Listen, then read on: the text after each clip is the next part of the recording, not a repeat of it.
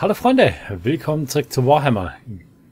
Die erste Episode im Livestream ist durch und wir schauen einfach mal, wie es jetzt ohne Livestream, ohne Ablenkung und so weiter ja, weitergeht hier.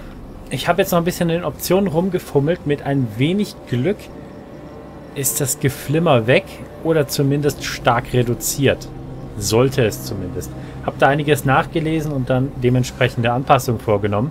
Ich hoffe, dass das jetzt läuft. Allerdings konnte ich noch keine aktuelleren Treiber finden, die mit dem Problem hier zurechtkommen.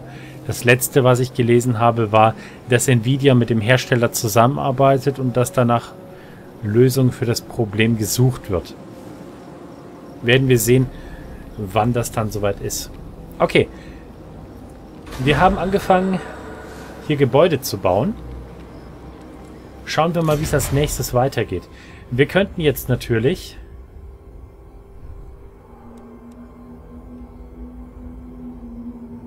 weitere Gebäude bauen. Oder wir begeben uns einfach weiter auf den Kriegspfad und reißen irgendwas nieder.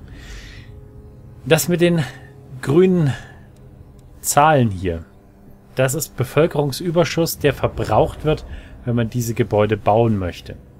Wir brauchen zum Beispiel vier Bevölkerungsüberschuss, um ein unheiliges Relikt zu bauen, damit wir Chaoskrieger rekrutieren können. Vier Bevölkerungsüberschuss ist schon eine ziemliche Hausnummer. Das braucht man ansonsten für Tier 4 Gebäude und da auch nur fürs Hauptgebäude, noch nicht mal für die Nebensachen. Deshalb ist das für den Anfang gar nicht so einfach, die Chaoskrieger zu bekommen. Sind wie gesagt eher Elite-Truppen. Wir haben derzeit drei Bevölkerungsüberschuss und so wie es im Moment aussieht, brauchen wir noch ein paar Runden, bis das soweit ist. Noch sechs Runden. In sechs Runden ist die Forschung abgeschlossen, die andere schon zum Teil. Und wenn ich jetzt noch ein anderes Gebäude baue, dann verlieren wir auch wieder Bevölkerungsüberschuss. Das bedeutet, wir machen uns erstmal wieder auf die Socken und ziehen ein bisschen durch die Lande, plündern und marodieren, wie sich das für Ork, äh, Ork-Truppen, ja, genau, sehr gut, wie sich das für Chaos-Truppen gehört. Hier drüben können wir einstellen, wie sich die Armee verhalten soll. Wir sind derzeit auf mehr oder weniger normale Stellung, das heißt, wir marschieren kampfbereit durch die Landschaft. Da sieht man auch, in welchem Bereich wir uns bewegen können, wenn wir das machen. Diese Gebirgsketten hier sind unpassierbar, da kommen wir nicht direkt drüber. Zwerge und Orks haben den Vorteil, dass sie ein unterirdisches Wegenetz benutzen können, das von den Zwergen angelegt wurde. Von den Orks überrannt. Und die können dann durch einen solchen, durch so eine Option hier das Wegenetz benutzen und dort dann unten durchgehen mit der normalen Bewegungsgeschwindigkeit. Das gibt denen zusätzliche Mobilität, was im Gebirge im Süden gar nicht so schlecht ist. Ja, alternativ können wir die Truppen zum Marschieren bewegen, dann sind wir schneller unterwegs. Ihr seht jetzt gestrichelt die normale Bewegungsreichweite. Wenn wir marschieren, erhöht sich unser Radius. Allerdings sind wir dann nicht mehr in Kampfformation. Wenn wir dann irgendwie in Hinterhalt rennen und so weiter, dann starten wir, glaube ich, nur mit, ich glaube, halber Moral oder so, weil die Leute einfach nicht kampfbereit sind. Wir können uns auch einfach in Feindesgebiet stellen und dort das Plündern anfangen, dann kriegen wir Ressourcen. Und ähm, als Horde, die Grünhäute sind auch eine Horde, ähm, ja, bei den Grünhäuten ist es sogar noch wichtiger. Die Leute sind dann beschäftigt. Die können irgendwas kaputt hauen und gehen nicht gegen sich selbst oder so. Plündern ist im Allgemeinen sehr, sehr positiv, weil es zum einen Unterhalt bringt, zum anderen die Leute bei schlechter Laune hält. Lager aufschlagen, da waren wir gerade eben. Da können wir hier mit diesem Baumenü ein bisschen rumhantieren, da können wir Leute rekrutieren und lauter so ein Schnickschnack. Und Stellung kanalisieren, das muss ich ganz ehrlich sagen, habe ich eigentlich noch nie benutzt. Ich spiele nicht so wahnsinnig viel mit Magie. Dementsprechend ist das für uns nicht sonderlich wichtig. Ähm, in den Kämpfen gibt es im Prinzip Magiereserven, die man verbrauchen kann, um Zauber zu wirken. Und indem wir die ganze Armee quasi kanalisieren lassen, haben wir dann in der nächsten Schlacht mehr Magiereserven zur Verfügung. Da wir im Moment noch keine Magier haben, ist das erstmal unwichtig. Das könnte mal interessant werden, wenn wir ein paar Magierhelden dabei haben, aber wie gesagt, im Moment lassen wir das mal noch. Bring my mirror shield. Richtig, ähm, Spiegelschild. In der Originalgeschichte hat Prinz Siegwald eine Elite-Leibgarde, die quasi Rundschilde trägt, die golden sind und immer blank poliert sind, damit der eitle Pfau sich in der Schlacht selbst betrachten kann, wenn ihm langweilig ist. Daher kommt er jetzt mit diesem Spiegelschild um die Ecke. Alles klar, ich glaube, ja, da wir uns soweit bewegt haben, fallen solche Optionen hier weg. Wir könnten jetzt nur noch auf Marschieren umstellen, aber nächste Runde sind, sind wir sowieso in Schlagreichweite. Das sollte passen. Hier können wir auch nichts weiter rekrutieren. Dafür müssten wir erst wieder in eine Lagerstellung. Und solange wir nicht im Lager sind, ist das natürlich auch mit Regeneration so eine Sache. Wir sind im Feindgebiet. Wir sind praktisch immer im Feindgebiet, da wir kein eigenes Gebiet haben. Schauen wir einfach mal. Irgendwann müssen wir ein Lager aufschlagen, die Truppen ja ausruhen lassen, sage ich mal. Und schauen, dass wir uns ein bisschen regenerieren, vielleicht neue Truppen rekrutieren. Das wollte ich aber eigentlich machen, wenn wir dann Chaoskrieger rekrutieren können. Weil wir dann ein bisschen mehr in die Richtung Elitetruppen gehen können. Ich denke, es wird Zeit, dass wir die nächste Schlacht angehen. Besetzen können wir sie nicht, aber ausrauben. Das sind über 3000 Gunst. Das sollte passen.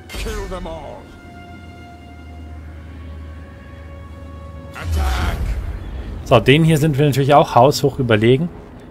Das sind alles nur Barbaren ohne irgendwas. Wir haben richtige Elitetruppen verglichen damit. Aber als zweite Schlacht nehmen wir das jetzt mal noch mit. Einfach damit wir Schlachten sehen. So, sortieren wir mal unsere Aufstellung hier. Die beiden angeschlagenen Truppen ziehen wir eher mal ein bisschen zurück. Ich will sie nicht verlieren. Außerdem können wir mit denen vielleicht fliehende Truppen verfolgen. Dann haben die da wenigstens noch was gemacht. Die Hunde haben eine ähnliche Aufgabe. So, wir haben ein relativ flaches Schlachtfeld. Dann haben wir hier einen schönen hohen Hügel für unsere Aufstellungszone. Ich würde sagen, da packen wir einfach mal den Todbringer rein. Der hat dann hier relativ guten Bereich in diese gegnerische Zone oder an die gegnerische Zone ran. Ja, es flackert mal wieder. Fantastisch. So, dann bauen wir das Zentrum auf. Ich würde sagen, Chaoskrieger außerkorene Chaoskrieger. Indem ich die in deren Reihenfolge gruppiere, werden die auch in der Reihenfolge gesetzt. Das heißt, die mit den äh, mit die Außerkorenen hier kommen ins Zentrum, die anderen jeweils an die Seiten. Die helle Badenträger packen wir wieder dahinter. Die können dann aushelfen, wo auch immer benötigt. Chaosbruten könnten, denke ich, den Todbringer ganz gut beschützen. Die halten eine Weile durch. Machen wir dahin. Prinz Siegwald kommt hier hin.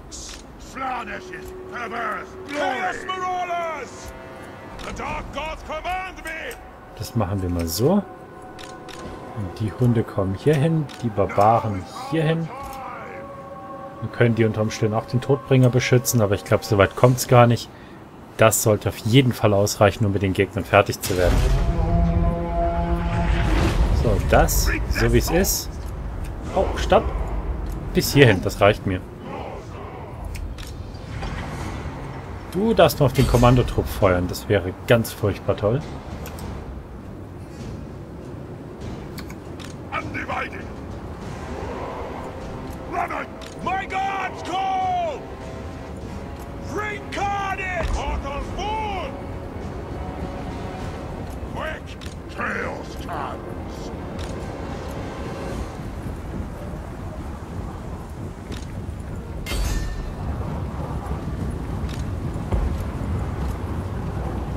So, die Hunde schicken wir mal gegen die Barbarenreiter. Die Hunde dürften schneller sein.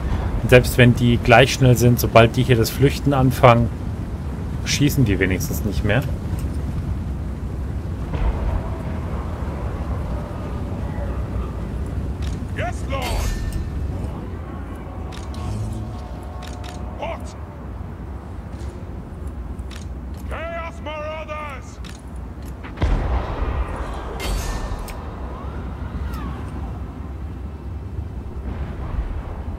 Denen geht's richtig gut. So muss das. Chaos-Barbaren mit zwei Entwaffen. Die nehmen eigentlich meine Truppen ziemlich fix auseinander. Dann bewegen wir mal auch die Helebardenträger dazu.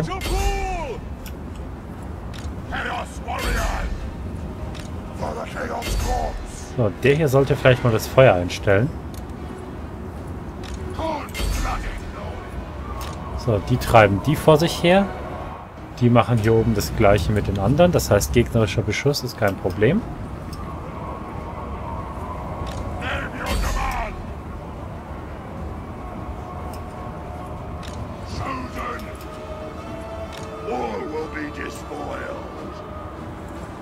So, und unseren General sollten wir irgendwie ins Zentrum stellen, damit alle von seinen Moralfähigkeiten hier profitieren.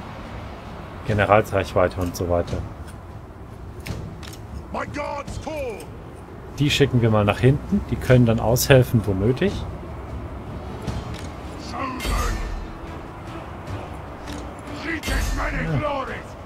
1 zu 1 ist eigentlich in Ordnung.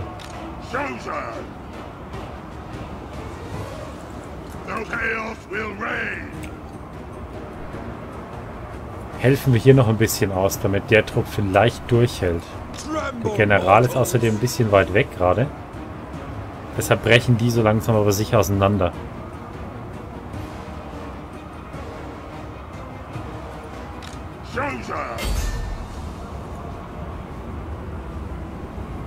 So, General kommt in Reichweite. Jetzt müssten die sich langsam stabilisieren. Schicken wir den mal noch mit rein. Die beiden können sich um den Trupp kümmern. Die Hunde haben immer noch Spaß hier oben. Wo ist der zweite Hundetrupp? Die haben die von der Platte gescheucht, das ist okay.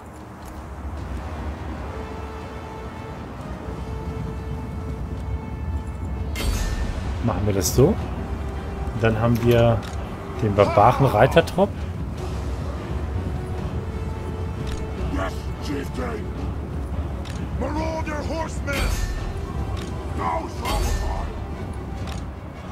Okay, die Sache ist eigentlich schon gelaufen. Alle feindlichen Truppen sind derzeit auf der Flucht. Abgesehen von denen, die sind nicht offiziell auf der Flucht, die versuchen sich nur so zu positionieren, dass sie uns beschießen können oder bewerfen, ohne dass wir uns wehren. Darauf könnt ihr lange warten. So, das sind eigene Truppen, die gebrochen sind, aber nicht zerstört. Ah, die sammeln sich schon wieder. Wie gesagt, wir müssen uns demnächst mal sortieren und die Truppen regenerieren lassen.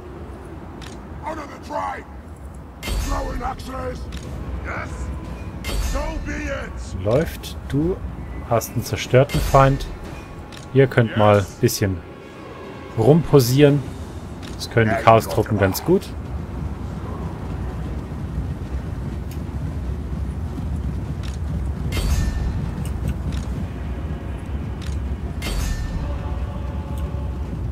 Wenn die die ganze Zeit nur wegrennen, dann können wir auch einen Todbringer ausrichten, denke ich. Aber die haben jetzt nur noch wenige Möglichkeiten zur Flucht. Passt schon. General ist zu weit weg und inzwischen haben sie es eingesehen. Zerstört, die werden sich nicht mehr sammeln. Wir haben gewonnen.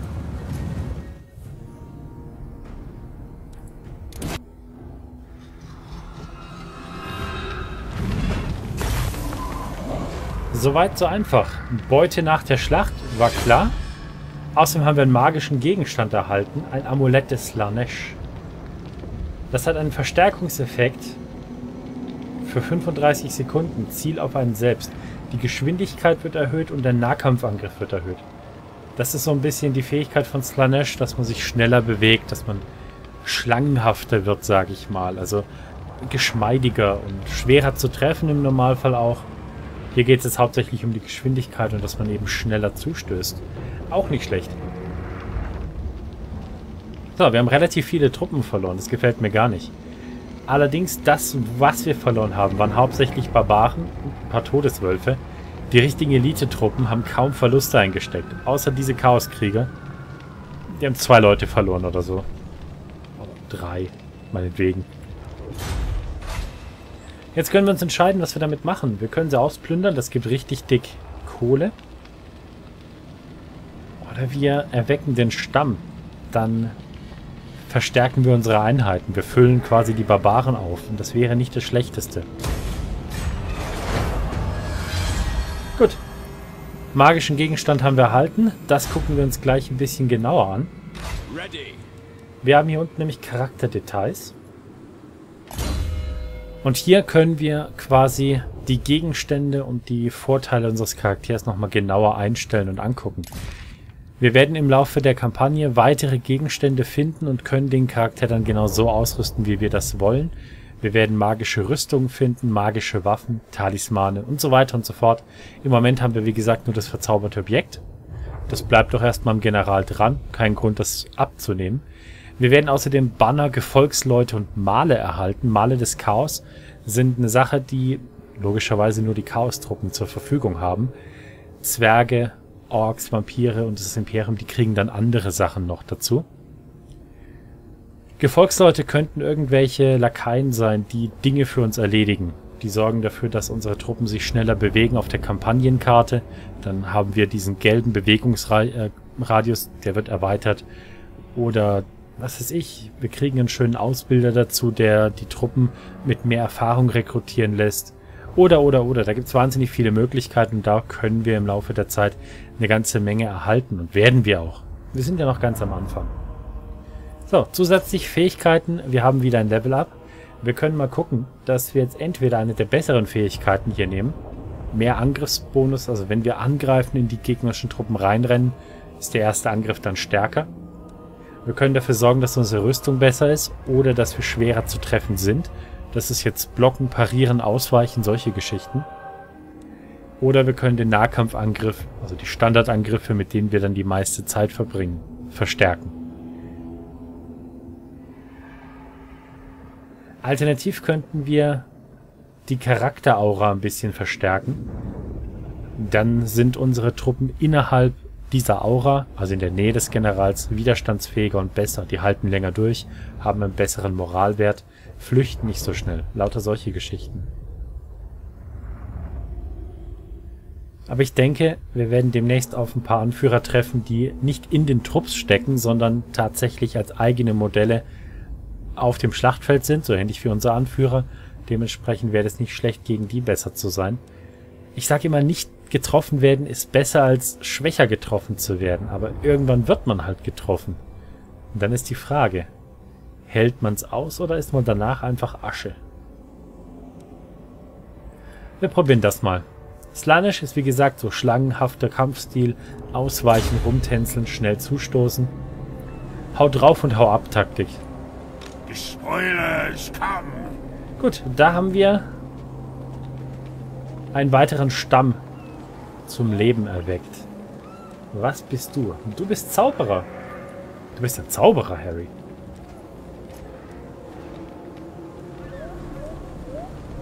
Und den können wir nicht befehligen. Das ist jetzt ein verbündeter Stamm, mehr oder weniger. Eine verbündete Nebensiedlung. Wird weiterhin von der äh, KI gesteuert. Wir sollten vielleicht dieses Teil entweder niederreißen oder dazu holen, dann gehört es zu einer Region. Man sieht immer, wenn man die Siedlung anklickt, was eine Region ist. Wenn man Regionen vereint, ist das ähm, vorteilhaft. Man hat einfach dann die Möglichkeit, einen Erlass ähm, in Kraft zu setzen, um mehr Ressourcen zu erhalten, die öffentliche Ordnung zu stabilisieren und so weiter und so fort. Dinge, die die Chaoshorde eigentlich nicht interessieren, aber unsere Verbündeten vielleicht. Naja, sollen sie das Lager selber angreifen. Wir kümmern uns demnächst dann erstmal um das hier, würde ich sagen. Es ist eine etwas größere Geschichte. Beziehungsweise das gehört alles zu Krakadrak. Das ist eine Festung der äh, Chaoszwerge, wenn ich das richtig in Erinnerung habe. Ja, mit denen brauche ich jetzt eigentlich keinen Stress. Ja, dann fallen wir hier unten rein. Das ist Menschenreich, Prag und Volksgrad da geht es dann eigentlich schon richtig los mit Chaos-Invasion. Und das ist relativ weitläufig, wie ihr seht. Da können wir uns dann ein bisschen austoben. So, Hier regenerieren wir im Moment. Das ist in Ordnung. Können wir hier was... Nein, können wir nicht nach der Schlacht. Gut, damit hat sich mit der Runde auch schon erledigt.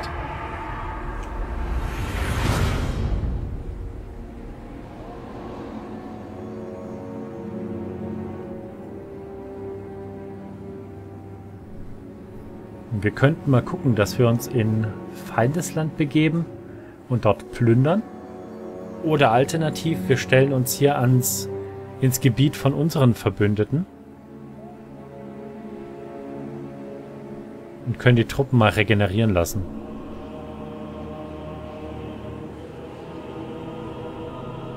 Im Normalfall geht dann ein Fenster auf zu Beginn einer Runde mit Weltereignissen.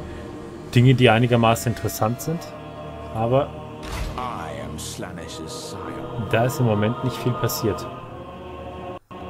Okay, die sind im Moment nicht in Reichweite, wie wir sehen. In den Süden. Da müssen wir sowieso hin. Egal, ob wir das Lager angreifen oder das. Hier nach unten müssen wir so oder so. Also machen wir das einfach mal.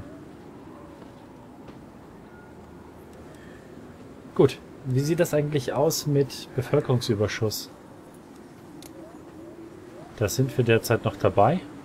Das dauert noch vier Runden, dann können wir das nächste Gebäude bauen. Und in zwei Runden ist die Forschung vorbei. Gut. Chaoskrieger, ich komme.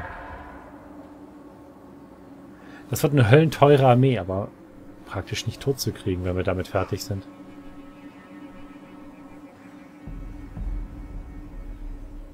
Da haben wir eine feindliche Armee. Das bedeutet, da ist auch ein General drin.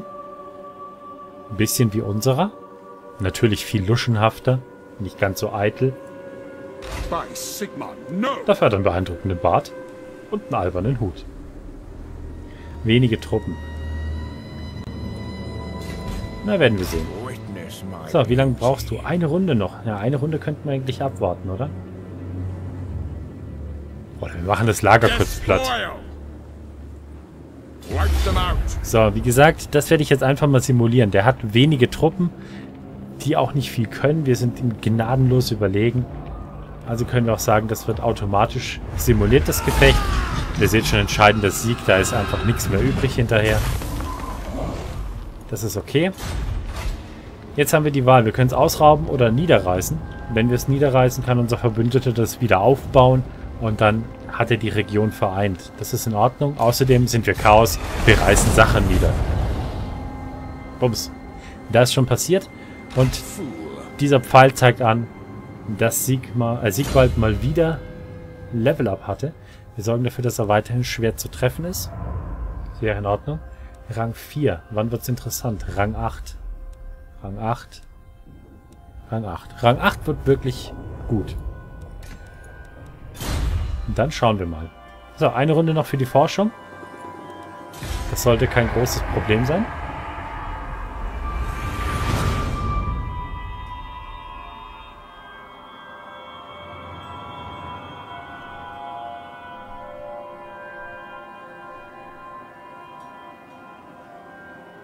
Ah, plus 3%. Alles klar.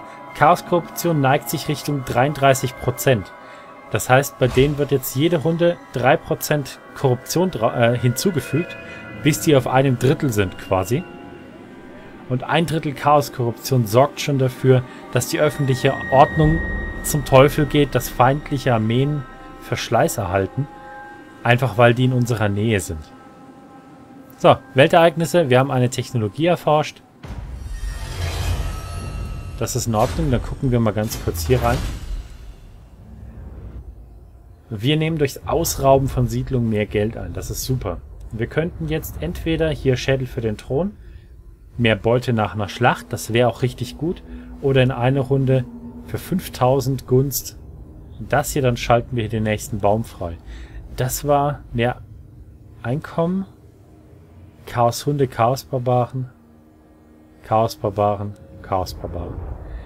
Hier will ich eigentlich nur das hier. Aber wir machen vorher mal das hier noch fertig. Beute nach der Schlacht ist eigentlich eine tolle Sache. Gut. Jetzt sind wir noch zwei Runden beschäftigt für diese Sache mit dem Überschuss.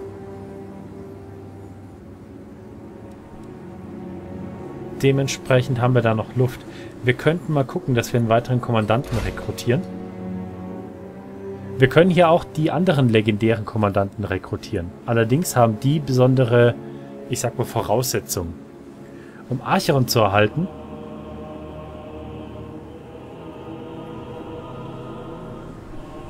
müssen wir zehn Gruppen von Gefangenen nach Kämpfen freischalten. Okay. Äh, abschlachten, oder? Ja. Das wird noch eine Weile dauern. Und Kolek? Dafür müssen wir ein bestimmtes Gebäude bauen. Das wird auch sehr lange dauern. Davon abgesehen haben wir hier jede Menge andere Möglichkeiten, Dinge zu rekrutieren. Der ist Kriegsherr, der ist Meisterhexer, der Lehre des Metalls, Lehre Metall, Lehre Tod. Das würde mich zum Beispiel schon mal sehr interessieren. Er ist Militärerbe, Führerschaft plus zwei in fremdem Territorium. Er ist also richtig gut darin, feindliche Truppen, äh, ähm, Quatsch, eigene Truppen ins Feindesland zu führen, so rum. Er kämpft auf feindlichem Gebiet besser. Bei den Frostlande hier sind wir im freundlichen Gebiet, da bringt das aber nichts. Was ist er? Melancholisch. Er ist nicht so gut gegen feindliche Helden. Das gefällt mir gar nicht. Er ist blind. Na super. Mehr Angriff, aber weniger Abwehr. Er haut einfach wild um sich. Man hat jede Runde eine andere Auswahl für die Kommandanten hier. Und die haben auch jedes Mal andere Fähigkeiten. Er ist leicht reinzulegen. Ja, feindliche Helden, die ab einem gewissen Zeitpunkt einfach auftauchen, können zum Beispiel Attentate starten, die können Truppen demoralisieren und verhindern, dass Armeen vorankommen ähnliche Geschichten und da er leicht reinzulegen ist, ähm, ist es wahrscheinlicher, dass gegnerische Helden damit Erfolg haben. Gefällt mir gar nicht. Er ist lang, äh, langsam auf der Kampagnenkarte. Er ist ein ziemlich guter Anführer. Mir wäre aber eigentlich einer recht, der Magier ist und Vorteile beim Rekrutieren hat. Deswegen schauen wir da jetzt einfach mal jede Runde rein. Irgendwann werden wir einen schönen Kommandanten finden, den wir rekrutieren und den lassen wir dann hier im Freundesland. Der kann dann eine eigene Armee ausheben, Elitetruppen ranschaffen und Siegwald quasi auf die Art unterstützen. Gut, schauen wir einfach mal hier rein. Wir haben uns zu weit bewegt zum Plündern, aber das ist kein großes Problem. Wir gehen einfach mal ganz dreist hier rein und schauen mal, ob der uns angreifen will. Ich glaube nicht dran, aber man kann ja mal gucken.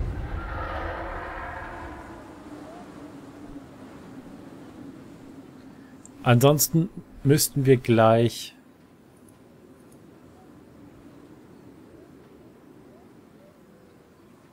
den Bevölkerungsüberschuss haben. Nö, er zieht den Schwanz ein und macht sich davon. Das ist außerdem nur eine kleine Siedlung ohne feste Verteidigung, sage ich mal. Eine Verteidigung dann wäre über diesem ja, Schriftzug hier wie so eine Art Zinnen auf Mauern. Dann ist es befestigt. Okay, wir haben ein Ereignis. Das Auge öffnet sich. Die Chaosgötter bemerken ihren Champion sind sich jedoch selten einig. Korn verlangt Gemetzel, Siege dagegen eine dezentere Vorgehensweise. Richtig, hatte ich am Anfang schon erklärt, die Chaosgötter haben da unterschiedliche Ansichten, wie eine Sache gemacht werden sollte. Wir können uns jetzt quasi entscheiden, entweder wir halten uns an Korn und Gemetzel oder an Sinch und eine etwas zurückhaltendere Herangehensweise. Wenn wir uns für Korn entscheiden, erhalten alle unsere Streitkräfte für sechs Runden sechs Nahkampfangriffe mehr. Wenn wir uns für Sinch entscheiden, werden Heldenaktionen günstiger, weil die Helden eben Intrigen machen, die manipulieren, die sabotieren, solche Geschichten. Wir haben aber im Moment noch keine Helden, deshalb bringt uns das nichts. Deshalb halten wir uns erstmal an Korn. Macht hoffentlich Sinn. Now. So, Bevölkerungsüberschuss 4 passt. Das bedeutet, wir können jetzt mal hergehen und dieses Ding bauen. Das kostet nur 750 Gold. Ist klar, so ein Zelt ist nicht teuer. Chaoskrieger werden günstiger im Unterhalt und wir können Chaoskrieger rekrutieren. Dauert jetzt eine Runde und dadurch, dass wir Dinge aufbauen, sind wir jetzt erstmal ans Lager gebunden bis die fertig gebastelt haben. Macht aber nichts, dann können wir hier nochmal die Truppen ein bisschen verstärken. Die regenerieren sich dann in der Zeit. Selbst er hat eine Runde Ruhe nötig. Aber das wäre es dann auch erstmal für heute. Wir haben einiges geschafft. Wir haben einen Verbündeten hier oben im Norden, was gar nicht so schlecht ist. Wir haben eine Siedlung niedergerissen, damit die das Gebiet vollkriegen. Und wir sind schon vorgedrungen ins, ja, ich sag mal, imperiale Gebiet. Das ist eine der vielen imperialen Fraktionen. Das ist jetzt Kislev zum Beispiel. Ui. Und da kommt noch einiges mehr. Hier sehen wir die Hauptstadt der Region und da sehen wir auch diese Zinnen obendran. Das ist eine befestigte Stadt. Um die einzunehmen, müssten wir eine Belagerung spielen. Wird aber auch noch kommen. Und die Chaoskorruption hier neigt zwei Dritteln. Die werden richtig Stress kriegen hier. Ihr seht schon, die öffentliche Ordnung nimmt ab, wegen der Korruption minus 2. Wenn die Korruption zunimmt, wird das immer schlimmer. Und in 107 Runden gibt es eine Rebellion, dann taucht hier eine Chaosarmee auf oder eine menschliche Armee, je nachdem. Und fängt an hier zu plündern, zu brandschatzen und ja, vernichtet im Prinzip die Umgebung und die Armeen hier. Und solche aufständischen Armeen zusammen mit unserer Streitmacht ist einfach zu viel für die meisten Gegner. Dementsprechend Allein, dass wir da sind, ist schon ein Problem. Dass wir zusätzlich noch kämpfen, ist dann Overkill. Gut, wir sehen uns morgen wieder, hoffe ich. Dann schauen wir mal, dass wir hier noch ein bisschen mehr Chaos anrichten, nicht wahr? Ein bisschen Verwüstung und so weiter. Bis dahin, macht's gut, haltet ihr uns steif. Ciao, Freunde.